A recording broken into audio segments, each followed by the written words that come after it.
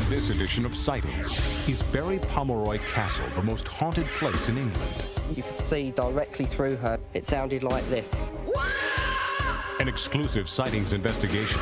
Then, can the moon drive us mad? O.J. Simpson happened three days after the new moon. The Bobbitt incident happened three days after the new moon, both at night, both using a knife. Also, practitioners give us a rare look inside the world of Santeria and Palo Mayombe. When you're dealing with this elemental force, it's very dangerous. Plus, is this the true face of aliens or a vision shaped by Hollywood? I think it's very possible that these beings are able to control how we perceive them. Later, these people have a special psychic connection that leads them to water. I don't know of many well drillers nowadays that don't use a witcher. And what would you do if you encountered a ghost? Be ready to get evidence, you know, get tangible evidence of your haunting.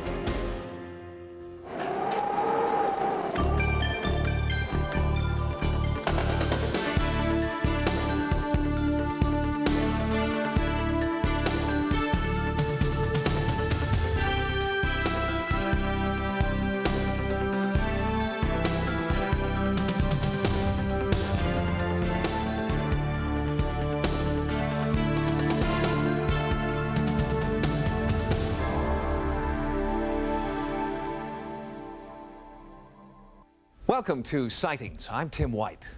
With Halloween Fest approaching, there are ghosts and goblins in the air. Well, at least the paper mache variety. But in England, there's one ancient site where spirits and apparitions from the past seem to hang around all year long. It's Berry Pomeroy Castle, and it's earned the title of Great Britain's most haunted landmark.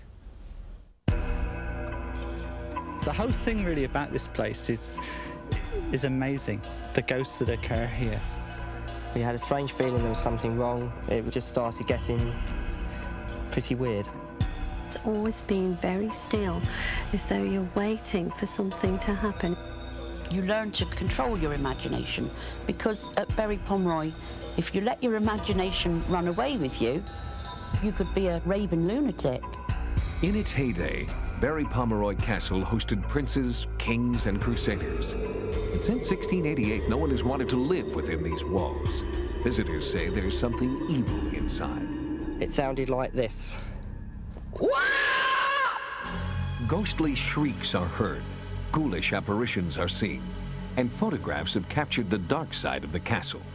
The crumbling walls of this once great fortress are perched above the desolate moors that blanket southern England.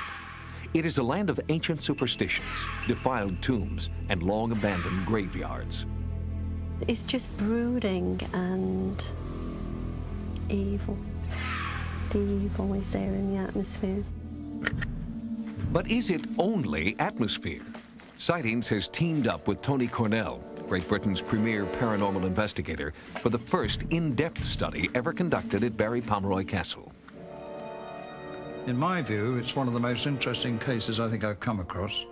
Basically because so many people have seen things and felt things.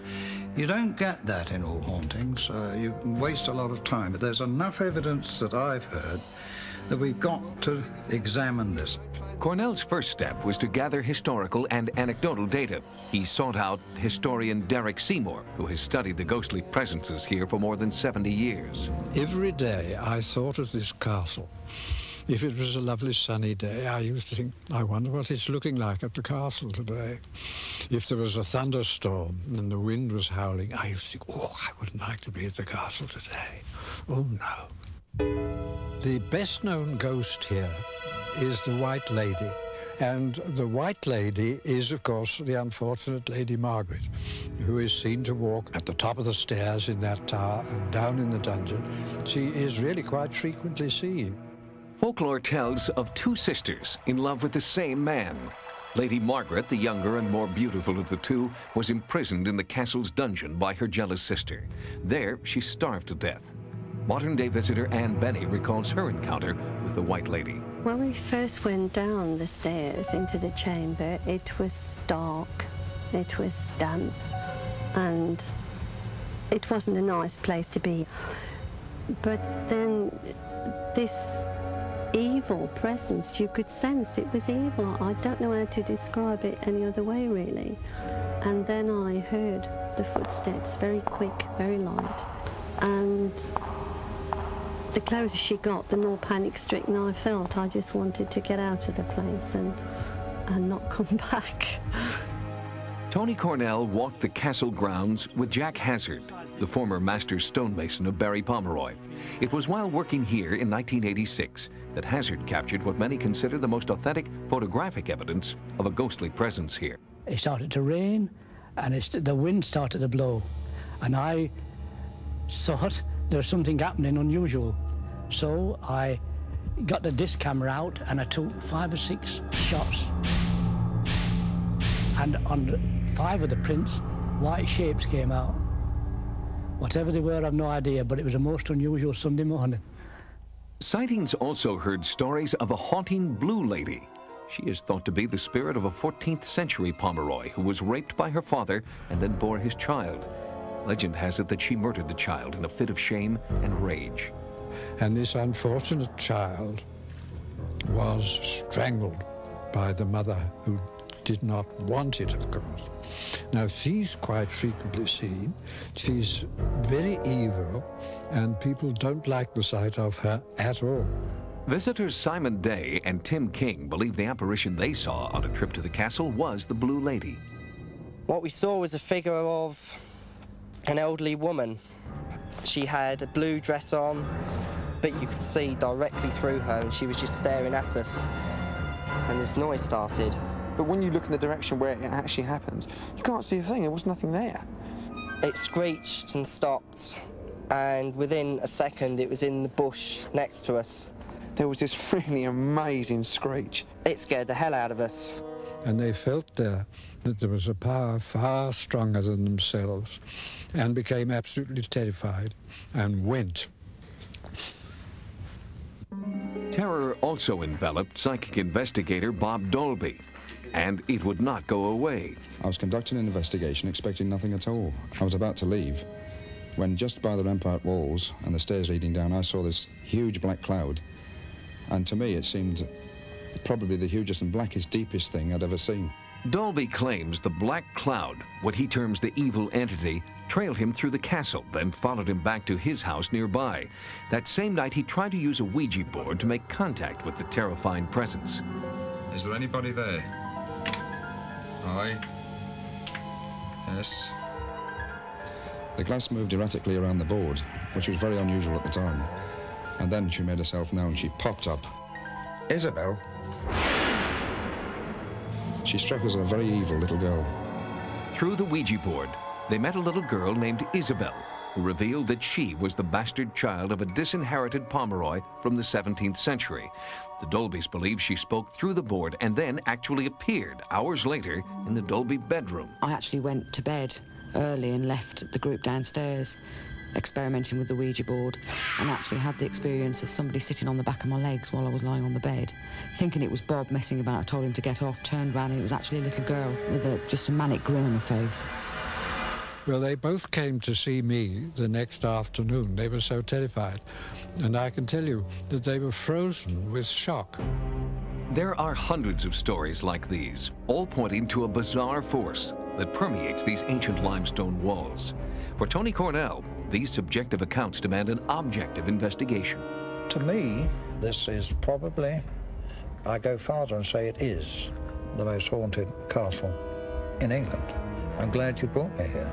You're opening my eyes, and I think that uh, I should go back and suggest that we get in touch with British Heritage and that we do a serious investigation over a period of time. There is something pretty potent here. There's a very evil force. And if ever you encounter it on going to Berry Pomeroy, get out quick. Based on the preliminary findings of our investigation, Tony Cornell believes that Berry Pomeroy Castle deserves a full-scale long-term study. The problem is access. British Heritage, the trustees of Berry Pomeroy Castle, are not believers and so far have denied all requests for an intensive investigation. Coming up next, are they eyewitnesses to an historic phenomenon or have their memories been shaped by Hollywood? We just have to trust our hearts and kind of sift through all this and find out who's telling the truth. If creatures from an alien civilization are here on Earth, what do they look like? How did they get here? These questions are now being answered by two distinct groups. First, the artists and writers who create the pop culture version of our cosmic cousins, and the people who believe that they have actual first-hand knowledge, the eyewitnesses and abductees. Well, strangely, both groups have similar visions. So who's influencing whom? The thing you'll never forget when you look into the face of these things is the eyes. Very large, intimidating black eyes very small opening for a mouth, no ears. Tremendous head, um, very thin body, uh, long arms. They're called Greys. Abductees insist these are the real aliens and that they're a far cry from what Hollywood depicts. And for the most part, they're right. The creatures created by generations of sci-fi writers and illustrators are far more fantastic than the slender, featureless humanoids reported by abductees. But it is this dark-eyed face that has come to dominate the public's conception of what a real extraterrestrial looks like.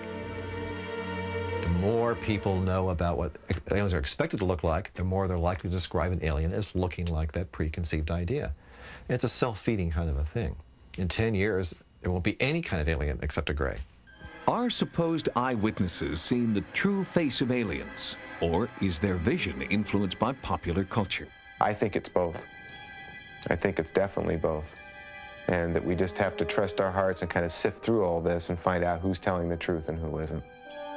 The rise of this alien archetype coincides with the increasing number of supposed abductees. But is there evidence that depictions of grays predate the abduction phenomenon? The grays, I think, are not a modern idea. Science fiction illustrator and historian Ron Miller has traced the depiction of grays in popular culture. He's unearthed suggestive artwork from the 19th century. It comes from fairy tales, science fiction, film, a lot of sources. that go back decades, even a century or more. One of the earliest sort of realistic depictions of an alien I have from a book that was published in 1884, which shows uh, the mummified body of a Martian. And in fact, it bears a startling resemblance to the modern picture of an alien. But those early drawings are just a needle in the science fiction haystack. Thousands of creatures, from the sublime to the utterly ridiculous, have been created by artists who use a little science and a lot of imagination. Science fiction reached a creative peak in the 1950s, when an atmosphere of anything goes produced hundreds of outlandish movies that seemed laughable. But that all changed in 1964 when a New Hampshire couple, Betty and Barney Hill, were the first to claim publicly that they had been abducted by aliens.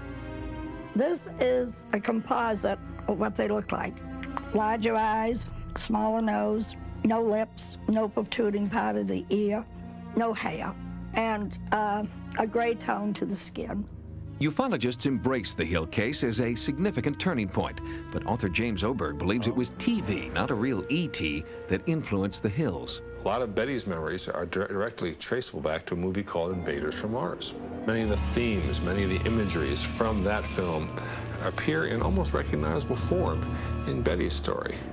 In the account, there was kidnapping being taken on board a flying saucer. There were needles being inserted into people's brains or other parts of their bodies.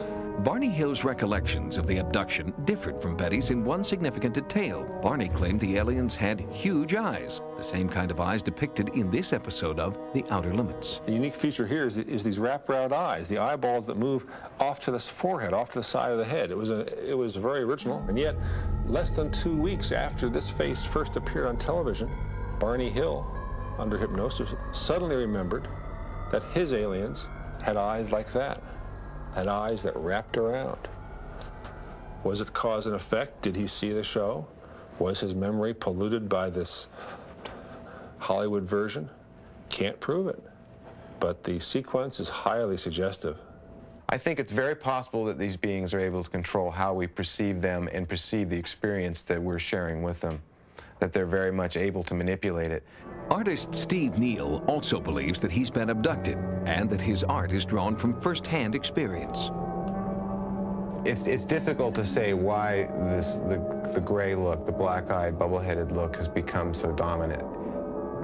For any other reason that these are the beings that are visiting here. The one event that catapulted the cult of the Greys into mass acceptance can be summed up in two words, Steven Spielberg.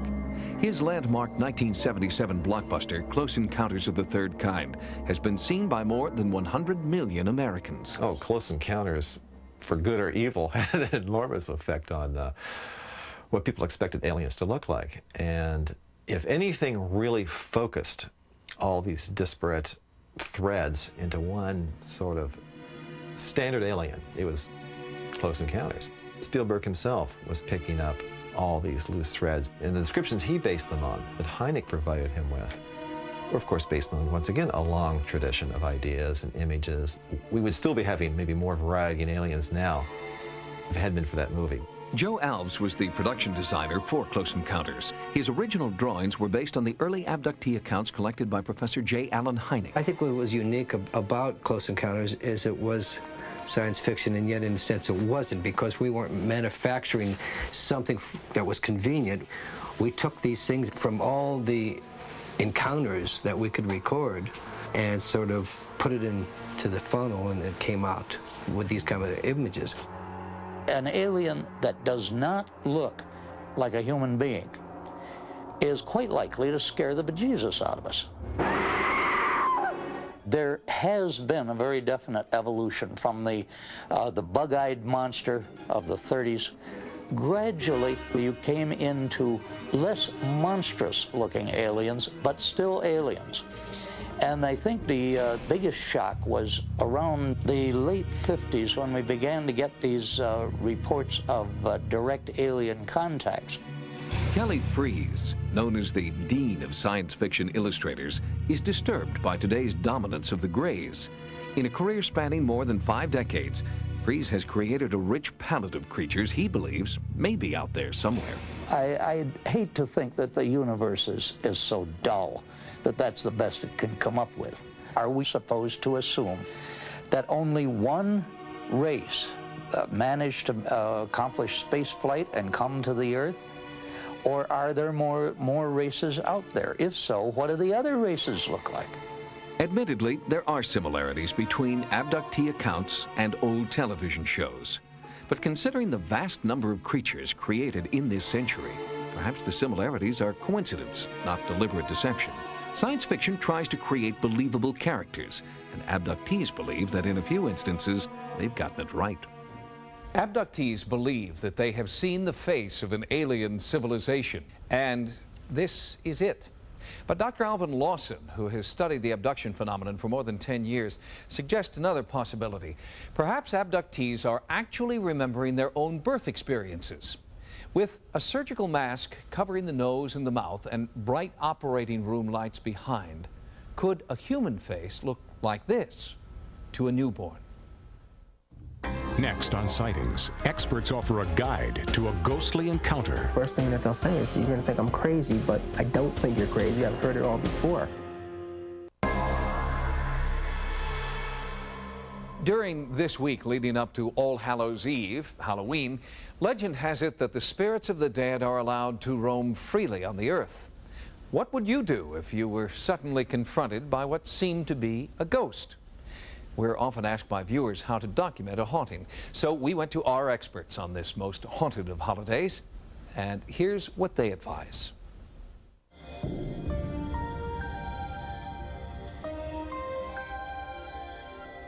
The first thing that they'll say is, you're going to think I'm crazy, but this, this is going on. And I tell them, no, I don't think you're crazy. I've heard it all before. Al Rober is a psychical researcher with over 25 years of experience investigating the paranormal. Rober's studies of haunting phenomena have taken him around the world in pursuit of hard evidence. Rober's interest in ghosts and spirits stems from his personal belief that every living being contains energy that does not die when the physical body dies. Every one of us is made up of energy. Now, when we die, what happens? Do we go into a box six feet in the ground and that energy stays there? I don't think so. The energy has to go someplace, okay? Uh, I think in cases of hauntings, somehow this energy stays behind. After years of investigation, Rober has developed a checklist for anyone who believes they have seen or felt a ghost. First thing to do is to start keeping a log.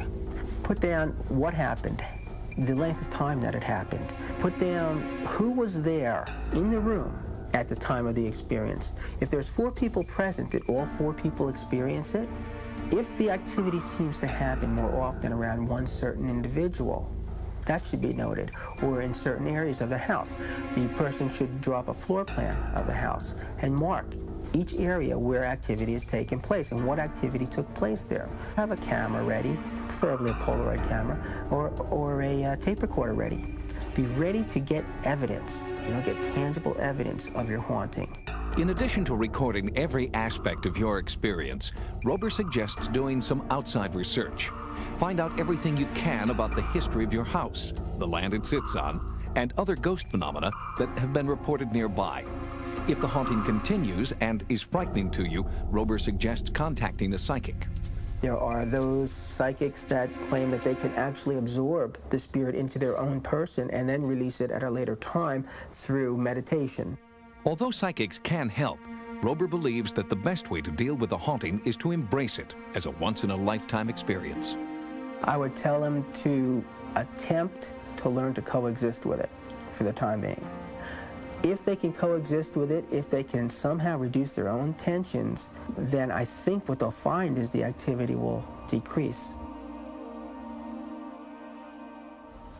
One more important step is to look for any natural occurrences that could explain away the haunting, in particular, the site's proximity to high tension wires.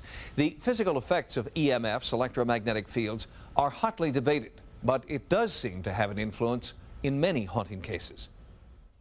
When sightings continues. We don't go and put a gun to your head. We take your name, we put it in the pot, and then you will drop dead somewhere in the street. Inside the world of Santeria and Palo, then deadly effects of the moon and the water witch's gift. The day after the invasion of Panama in 1989, U.S. forces discovered a strange house in the Panamanian jungle owned by then General Manuel Noriega. Inside, rooms had been turned into occult shrines. There were remains from animal sacrifices, jars filled with blood, bone, and herbs, and cryptic curses defaming Noriega's enemies, including then President George Bush. It was a rare glimpse at the international power of a little known and much misunderstood religion called Santeria. What started as a small sect of wildly devout worshippers in one African tribe has spread significantly across the Atlantic to Cuba, then Miami, and now the power of Santeria is felt from New York to Los Angeles, from Caracas to Tierra del Fuego. Fostered by slave trading in the last century and exposure to Catholicism in this century. The religion was originally practiced by the Yoruba in uh, what is today southwestern Nigeria, mainly. When uh, the Yoruba came to Cuba as slaves, they had to make certain adaptations to the environment, and the resulting uh, religion is Santeria. But when East met West, some Santeros split from the largely benign practices of Santeria to form Palo, a religion that turned spirits into demons and corpses into objects of worship. We have to have an actual spirit that will do our bidding. So there are ceremonies where they go into the to, into the cemetery and they disinter a body, and they ask if they can use that spirit of that corpse. And if the spirit of that corpse says yes, that it will do what the palero asks, then yes, we take different pieces of bone from it, whether it's the skull, fingertip bones, or shin bones, and we incorporate those into the pot. The dark rituals of Palo are often confused with Santeria because to satisfy the spirits, both religions practice animal sacrifice. We don't kill cats and dogs, okay? No, no pets. Uh, we use goats, we use lambs and chickens, and we do eat these animals. Uh, we don't torture the animal. The person who does the animal sacrifice is trained so that the animal is killed instantly. Santeria and Palo also share a belief in the power of spirit possession. In Santeria, spirits, called orishas, are summoned through music and prayer and are believed to enter the bodies of the worshippers. They shave your head, they cut a small cut in your scalp and implant actually the essence of the Orisha, the power of the Orisha inside your head, um, you become known as Iyawo. Iyawo means the wife of the Orisha. Even if you're a male, you're still the wife of the Orisha. Once you go into the room of the initiation, you feel the, the vibes, you feel energies, that's something different. During these initiation ceremonies, believers enter an altered state where their mind and body are given over to the Orisha. Santeros believe that in this altered state, miracles can happen. Jackie Rodriguez, a Cuban American baptized in the Catholic Church, was initiated into Santeria at 22. She was looking for hope and healing after a series of difficult miscarriages.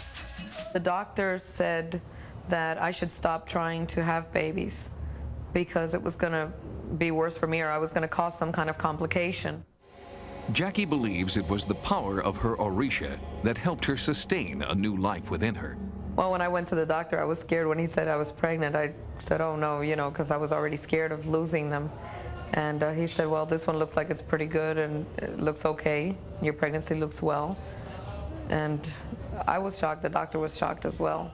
Jackie's son is now eight years old and a Santeria initiate. Jackie herself has become a priestess and is dedicated to helping others use Santeria for good. Anybody can be initiated. The religion has people from all kinds of social backgrounds. It is a family religion. With more than 5 million members in the U.S., Santeria tries to distance itself from Palo, where the power of the Orishas is used for evil. The same rituals that create life for Santeros are used to curse and even kill through Palo. We don't go and put a gun to your head. What we do is we take your name, we put it in the pot, and we do our ceremonies. And then you will drop dead somewhere in the street. But I want to stress to you that the majority of the paleros do not do evil. Usually, most of the spells they do is to cure and heal people. The only time you actually see them doing evil is in self-defense when somebody else is trying to hurt them. The centerpiece for Palo ceremonies is the Nganga, an iron cauldron filled with ritual items like herbs, nails, and sometimes human remains.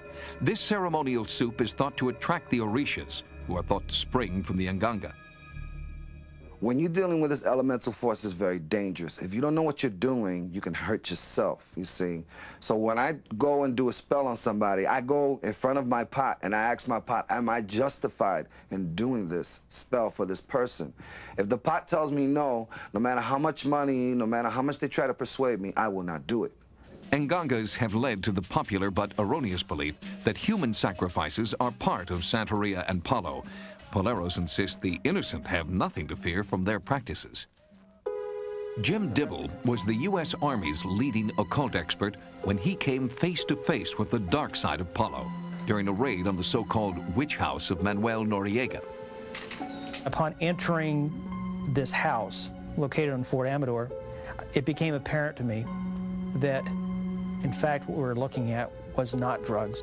But what it was were manifestations of a more deviant uh, practicing of Santeria. The house was devoted to Palo and black magic. Among the items, a split cow's tongue, nailed shut and buried in rice. Inside, the names of Noriega's enemies. When I first was able to discover that these items were linked directly to Noriega, I was astounded. Not only because a world leader was bound by these beliefs, guided by these beliefs. But this is the first time I had been able to see these types of examples, these manifestations in reality. Hundreds of politicians and world leaders were named in curses called workings. I encountered a number of workings that involved George Bush. Typically, George Bush's name would be written on a piece of paper. And then this piece of paper would be placed either in gelatin or in cornmeal and then wrapped.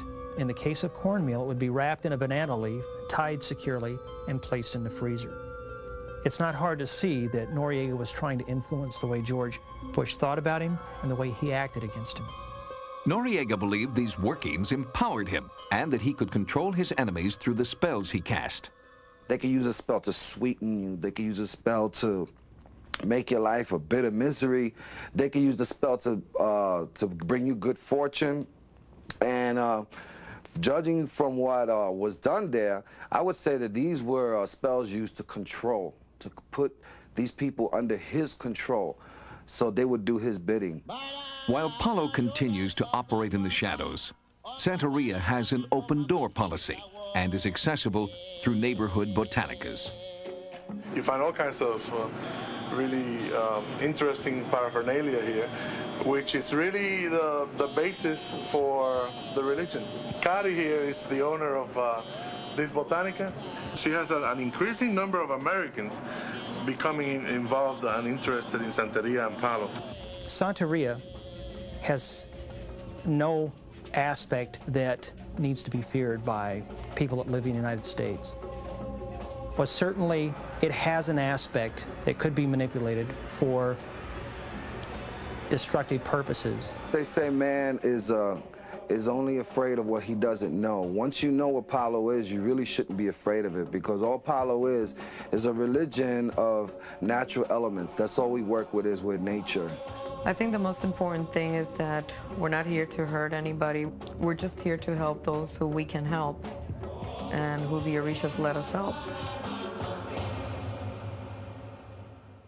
As the American military's leading authority on the occult, James Dibble would seem to be a prime target for the wrath of Santeros. Dibble has experienced some unusual occurrences, mostly mechanical and electrical malfunctions, while he's lecturing about the occult. But so far, he has escaped the deadly curse of Palo Mayombe. Coming up next on Sightings. Some nights you'll get people talking to streetlights, you know, barking like dogs. Things go a little crazy at the time of full moon. For millennia, humankind has looked to the moon with wonder and awe. Our nearest neighbor in space has inspired lovers, scientists, and madmen. In fact, the word lunatic has at its root the Latin word for moon. The moon's effect on our planet can be measured with the tides. But what about its effect on human beings? If the Simpson crime had happened 400 years ago, people finding two badly mutilated bodies with animal paw prints because a dog was present in the scene, uh, they might have said, you know, werewolves. The LA riots was, I think, three days before the new moon. O.J. Simpson happened three days after the new moon. The Bobbitt incident happened three days after the new moon, both at night, both using a knife. It is a beautiful sight. The full moon rising high in the night sky. But while the moon casts its heavenly glow, it seems all hell breaks loose on Earth. During the full moon, reports of murder, violence, and admissions to psychiatric hospitals all rise. Many scientists say moon madness is myth, but at the Griffith Observatory in Los Angeles, calls come in daily insisting there is a link. If you ask emergency personnel, squeeze my hands. Police, fire, doctors, uh, what influence does the moon have? They'll all tell you for certain things go a little crazy at the time of full moon. Tonight, yeah, we had a guy that apparently was trying to kill himself and uh, stuck himself in the stomach with a steak knife all the way up to the handle and was running around the house. And uh, when the officers got there, uh, they were trying to calm him down, and his main concern was that he wanted a cigarette. Sightings rode along with police in Pomona, California during one recent full moon. This city's pretty weird as it is. Uh, I've never really, you know, consciously thought about it. I'm sure there's probably been one or two nights where the, the city was jumping and if I would have looked up, it probably would have been full.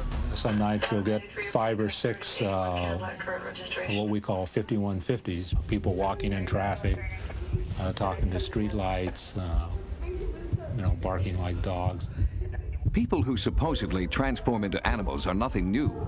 They're just the modern chapter in an age-old belief in the moon's ability to bring out the beast within humankind.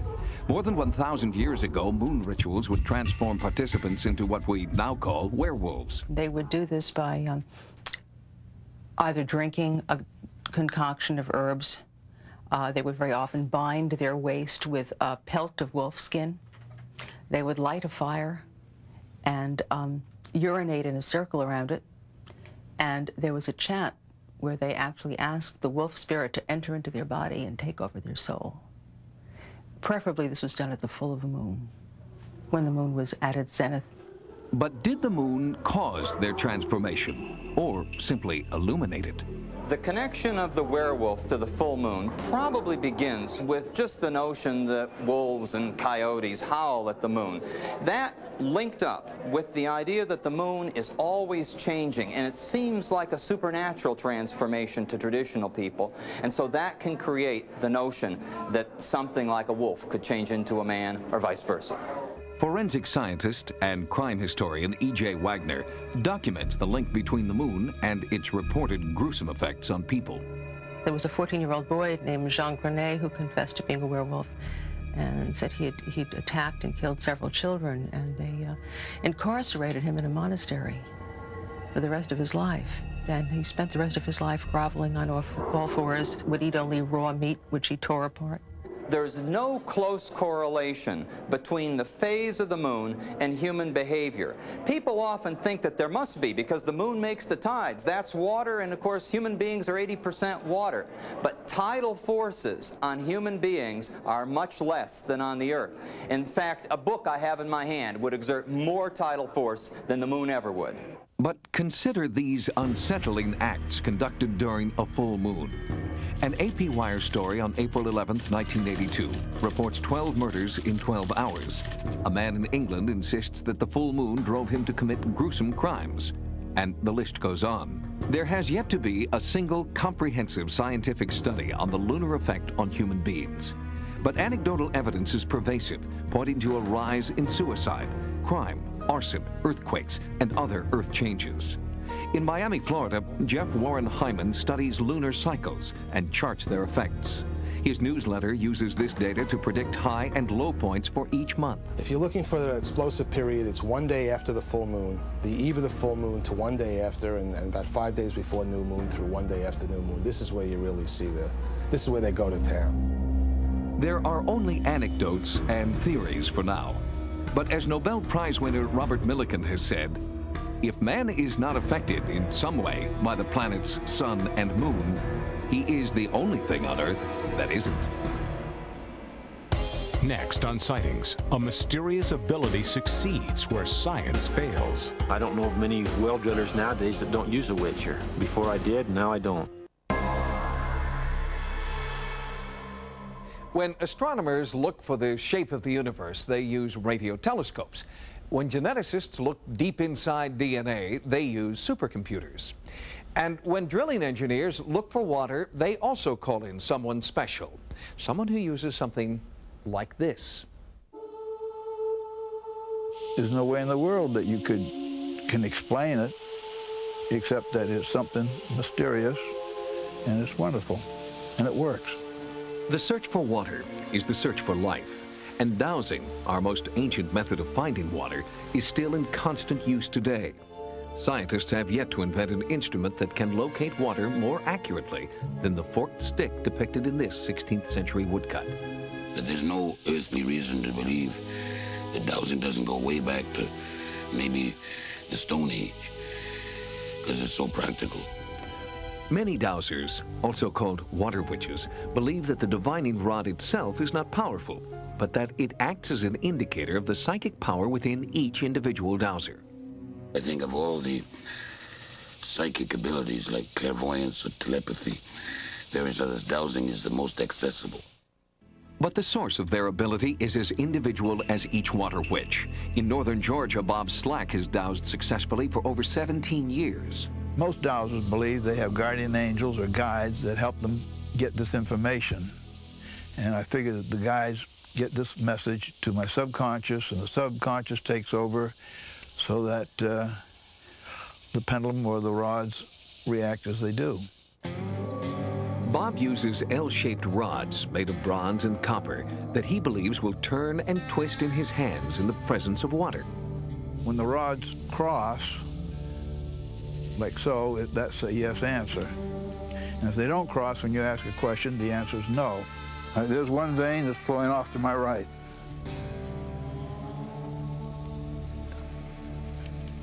Right, there we are.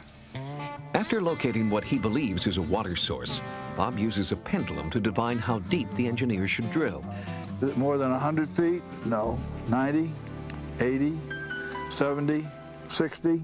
Our sightings crew watched as Bob placed a marker on the spot where his divining rods had indicated water would be found. Then we drilled. I don't believe 100% in them, but I don't disbelieve in them. But Jack Byers became a believer when he hit water, exactly where the water witch said he would. Skeptics argue that if you drill deep enough, you can find water anywhere, with or without dowsing. But drillers here in the Great Western Desert haven't found that to be true. Dry holes mean empty pockets. Water witching is very practical, especially in this country.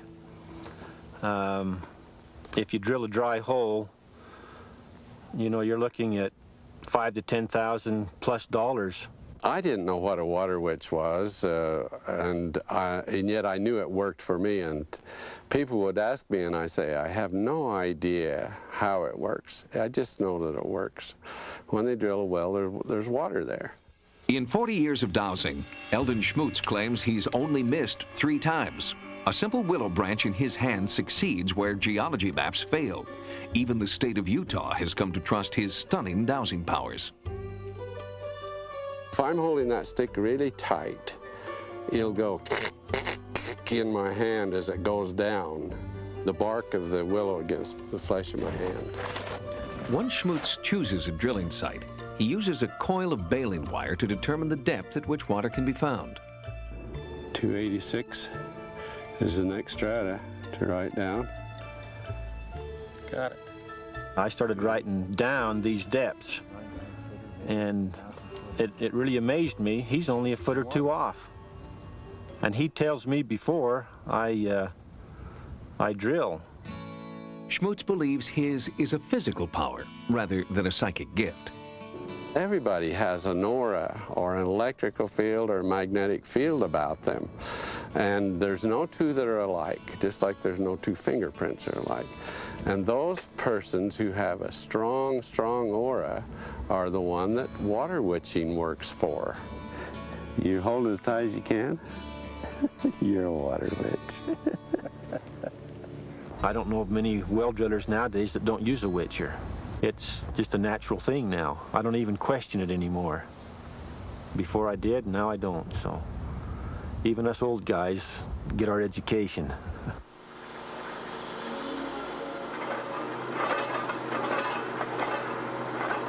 Eureka, I think we found her. That's good. We're, we're deep enough. Yeah, that's great. Just like that. The American Society of Dowsers has 3,500 members in all 50 states. The roster of clients includes some of the biggest names in drilling and construction, including many large oil companies. But when we queried these companies about their use of dowsing, they refused to comment publicly. If you've had a paranormal experience, call the Sightings Hotline at 1 900 933 SIGHT. That's 1 900 933 7444. Each call 65 cents a minute. Average call lasts three minutes. Sightings is also online. Our email address is sightings at AOL.com. Until next time, remember, no mystery is closed to an open mind. For Sightings, I'm Tim White.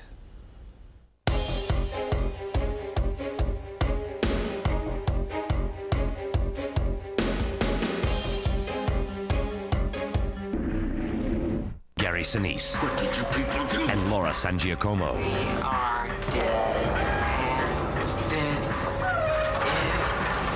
hell. Stephen King's The Stand concludes tonight at 9 Eastern and Pacific on Sci-Fi.